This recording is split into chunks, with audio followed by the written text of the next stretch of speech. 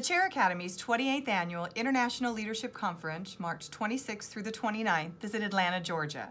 Britt Andreatta, author of Wired to Resist and Wired to Grow, will be one of our featured keynote speakers. She'll be sharing her leadership stories and insights with all of our conference participants. To learn more about Britt and to register for our conference, visit us online at chairacademy.com.